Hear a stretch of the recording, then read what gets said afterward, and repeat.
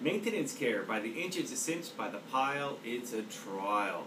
Uh, critical to understand uh, for all my patients that it's uh, very easy to maintain a well decompressed spine, allowing your nervous system to flow freely to all of your organ systems, allowing that maximum expression of your innate potential from the inside out.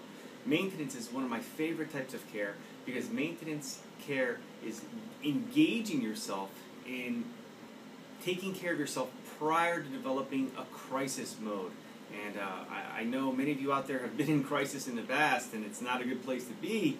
And uh, many times it, it takes a big toll on your life and your daily activity. So, maintenance care, for those of you who haven't been on top of your maintenance care, I encourage you to get on top of uh, keeping your maintenance visits in the office. This allows your body to adapt much better to stress, which I know most of us have.